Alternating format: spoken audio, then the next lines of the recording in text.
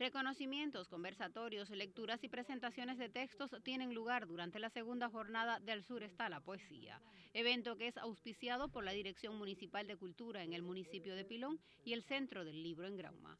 Como ya es costumbre, los poetas participantes en esta cita llegarán a más de media decena de comunidades habitadas mayoritariamente por trabajadores agrícolas, amas de casa y pescadores, quienes esperan el encuentro como la más importante propuesta cultural que cada año tiene lugar allí. Al sur está la poesía concluirá el domingo venidero tras cumplimentar un programa de actividades que busca la interacción entre cultores del verso y su público. Vilma Vilena Hernández y Jacqueline Pérez, Sistema Informativo de la Televisión en Granma.